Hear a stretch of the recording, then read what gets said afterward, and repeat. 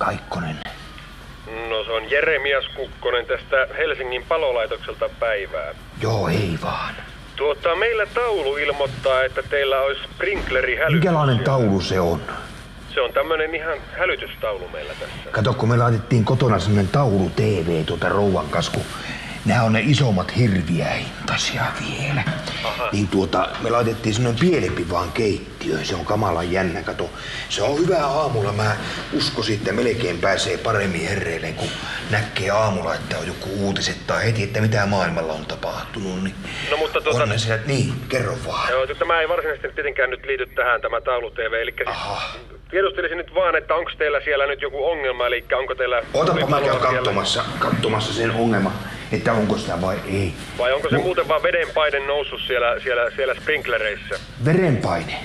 Se tahtoo olla vähän semmoinen, että kannattaa melkein tulla paikan päälle mittaamaan, koska tota, meillähän ei, meillä ei vielä puhelimessa suoriteta verenpainemittauksia. Aha.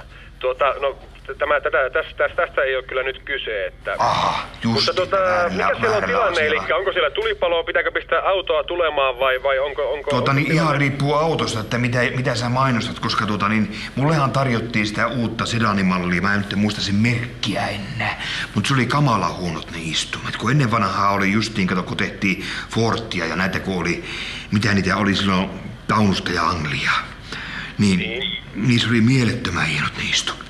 Aivan kamala hienot, mutta että nykyään tahtoo, että kun mulla tuo selkä on semmonen könttyrä kuin se on, niin minä en pysty kyllä niissä enää Hei, mulla taisi paahtoleipä kärähtää tuolla omassa huoneessa. Palataanko paremmalla? Joo, hei.